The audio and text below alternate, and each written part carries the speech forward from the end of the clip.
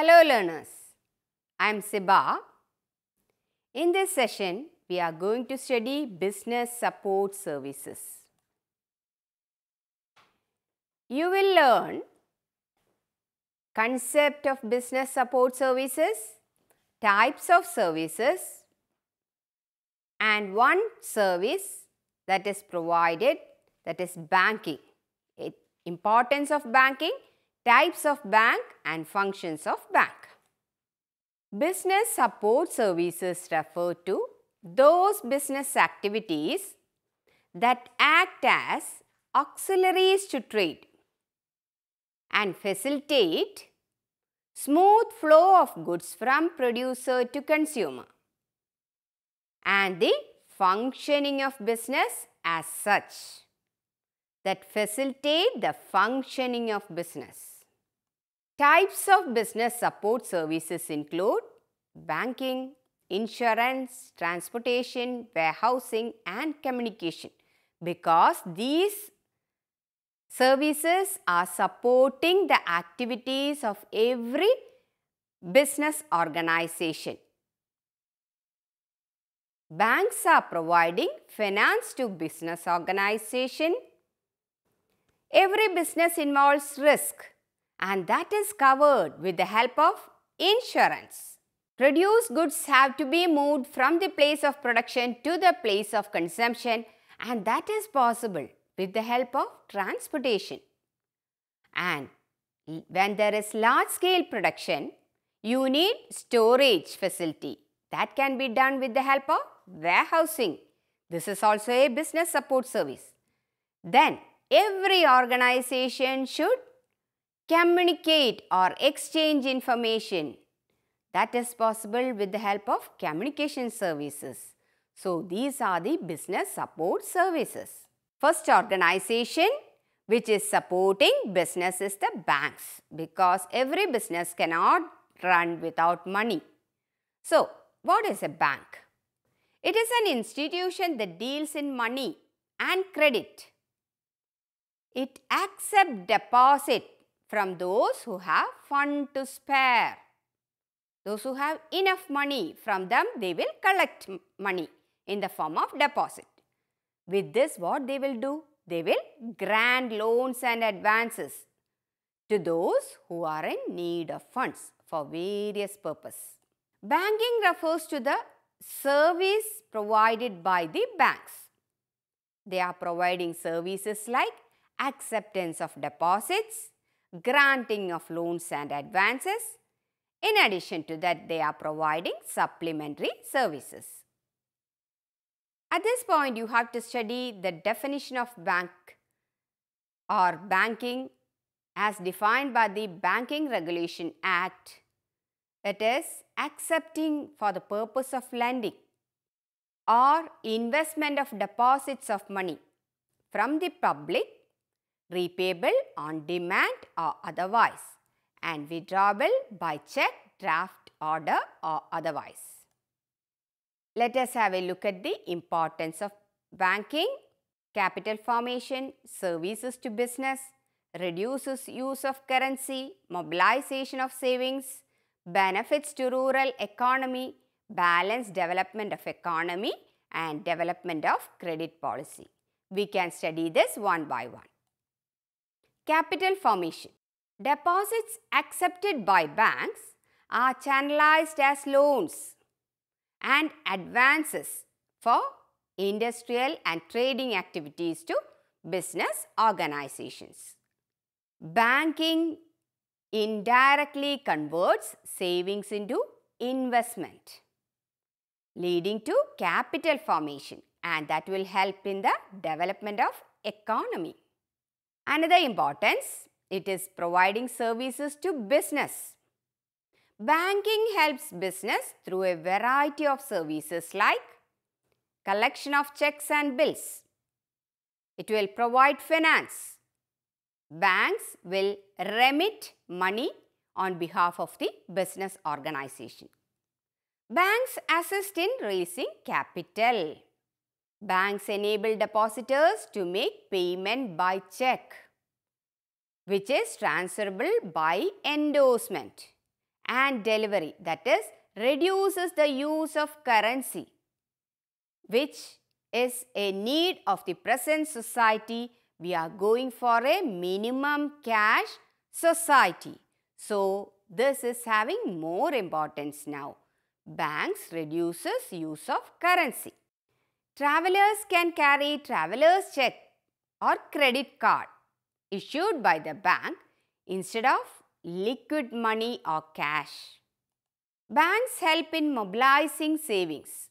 Banks allow savings to be deposited in different types of accounts like current account, savings account and fixed account. Withdrawal facility and payment of interest on deposits encourage people to save money and put it in the banks. If you are not providing these facility, if you want some money at any time, you can go to the bank and collect it. Then only you will have the saving habit. Similarly, interest is provided by the bank for various deposits. Definitely, if you are putting 100 rupees to the bank, you will get minimum 120 rupees or 200 rupees. It can increase to any limit. So, if you are putting to the bank and getting something as extra in the form of interest means it will increase the saving habit of the people. Banks benefit the rural economy. It will mobilize the savings in the rural areas and provide loans to farmers as well as artisans. They are providing loans at a concessional rates to the farmers. Banks help in balanced development of economy. Banks identify areas that need special attention or special assistance for industrial development and provide them necessary help. Thus, banks will help backward areas in industry with adequate funds, that too at a reasonable rate. Banks help in the development of credit policy. The central bank of a country develops proper monetary policy by determining the bank rate and regulate the supply of money in the larger interest of the economy. For the interest of the people or for the economy, banks are regulating the money supply. Otherwise, money supply increase means inflation will occur that will affect the economy that will badly affect the growth of the country. For that banks are regulating or formulating monetary policy that will help the economy to move in a better manner. Now let us study types of banks. Commercial bank, cooperative bank, development bank, specialized bank and central bank are the types of banks. First, commercial bank. These banks are banking institutions that accept deposits from whom? From the public. And this money is utilized for what? For granting short-term loans and advances to their customers. Commercial banks are of three types mainly. Public sector banks, private sector banks and foreign banks. In public sector banks, major share is held by the Government of India or by the Reserve Bank of India. In private sector banks, major share capital is held by private individuals. These banks are registered as public limited companies. Third type of commercial bank, foreign banks. It is incorporated in foreign country but operate its branches in our country. So, first we have studied commercial bank as a type of bank then coming to cooperative bank. When a cooperative society engages in banking business, it is a cooperative bank.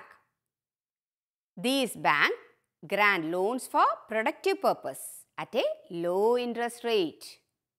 Types of cooperative bank includes primary credit societies, central cooperative banks and state cooperative banks. So first commercial bank, second cooperative bank and third development bank. Development banks are the financial institutions which provide both medium-term loans and long-term loans. Development banks provide technical advice to various business organizations. Development Bank assist industries in its promotion activity for modernization and for expansion of the business. Commercial bank, cooperative bank, development bank and specialized bank, fourth one. There are some banks which engage themselves in some specific area or activity like Export-Import Bank that is Exim Bank. Exim Bank help the exporters and importers in transferring their currency or transferring foreign exchange. Small Industries Development Bank of India that is specialized in providing finance to small industries. NABARD, National Bank for Agriculture and Rural Development. This bank is providing support to the agriculturists as well as rural farmers. Next comes the Central Bank. A bank which is entrusted with the responsibility of guiding and regulating the banking system. And Central Bank is the apex bank. It is the highest financial authority. Central Banking Authority in India is Reserve Bank of India that is RBI. Reserve Bank of India does not deal directly with the members of public. RBI is the banker's bank. It advances money to all banks. Maintain deposits of other banks. RBI regulates volume of currency and it has a power to control all other banks in the country. And it has a power to supervise all banks. RBI act as government banker and it maintains the record of government receipts, payments and borrowings under various heads. Another function of RBI, it advises government on credit policy, monetary policy and RBI fixes the rate of interest on bank deposit.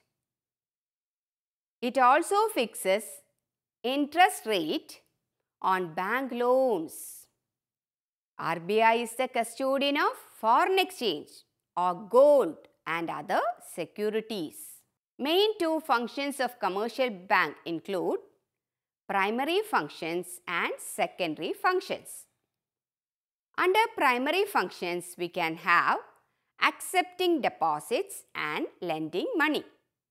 What is meant by accepting of deposits? People who have surplus income and savings find it convenient to deposit it with different banks and public is assured of the safety of funds deposited with the bank. For the convenience of the customers, banks provide different type of deposit accounts with varying rate of interest. So, banks will increase the money that is deposited by providing interest. We have different type of deposits like fixed deposit account, savings bank account, current account, recurring deposit account. First function of bank, accepting money, second lending money. That these are the primary functions of the bank. Lending money.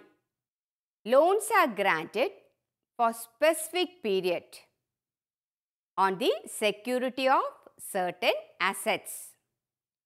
Borrower may be given the entire amount in lump sum or in installment. Banks provide credit facility for a shorter period. It can be in various forms like discounting of bills, cash credit and in the form of overdraft. So, primary functions are over. Coming to secondary functions. Commercial banks also render a number of ancillary services or supporting services. These are the secondary functions and these will supplement main activities of the bank. Primary functions include accepting money and lending deposits or lending loans. And secondary functions include agency services and general utility services.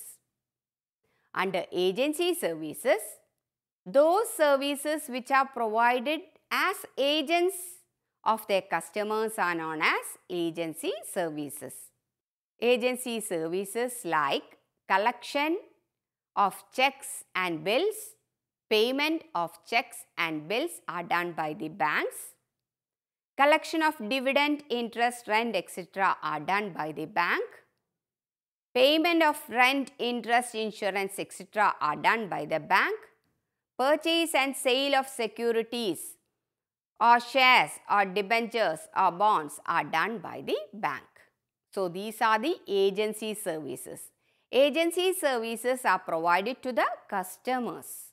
Secondary function that is general utility services. Secondary functions include agency services and general utility services. Agency services are provided only to the customers.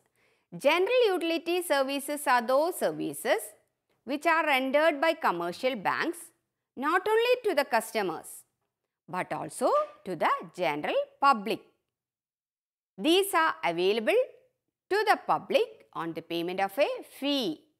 General utility services include issue of bank draft, issue of pay order, issue of traveler's check. So, these are services that is provided to customers and to the general public. Safe custody of valuables in safe deposit lockers. It is also a general utility service. Giving ATM card, debit card and credit card. That is also a general utility service. Internet banking, phone banking, etc. are also general utility service. We have different types of bank accounts like savings deposit account, current deposit account, fixed deposit account and recurring deposit account. Savings deposit account is aimed to encourage habit of saving among people. Saving habit should be developed among young children. Nowadays, we the mothers are supposed to train our children in such a way that they should be encouraged this habit. In our days, bank came to our home and we were given piggy banks and we used to keep our pocket money, some part of it in that piggy bank. Bank will come once in a month and collect this and that will be recorded in the accounts of small children. So, such saving habit which is nowadays lacking, it should be revived because giving something or keeping aside something whatever food materials or money or whatever, that should be a habit among the young children because it is a culture, Indian culture. We should retain, only we can retain. So, coming to the saving deposit account, we can deposit any number of times in this account. We can open savings deposit account with small amounts like rupees 100. Nowadays, even zero balance saving deposit account is also allowed by the government. Withdrawals are restricted in the savings deposit account. Interest allowed on minimum daily balance. Rate of interest is allowed on these deposits is lower than that of the fixed deposit account and passbook is issued to the account holder. Another type of deposit that is given to the businessman or industrialist that is a current deposit account. Banks provide facilities to industrialists and businessmen through current deposit account. In current deposit account, we can deposit any number of times and we can withdraw at any time. Money as well as check. No interest will be there for current deposit account. Overdraft facilities are allowed. Passbook is given to the account holder. Current deposit account are payable on demand by the depositor. So, it is known as demand deposit. Coming to fixed deposit account, that is fixed amount is deposited for a fixed time which is having high rate of interest and deposit will be repayable with interest. No passbook is issued. No checkbook facility. Interest varies with period. If you are depositing for 45 days, lesser rate of interest.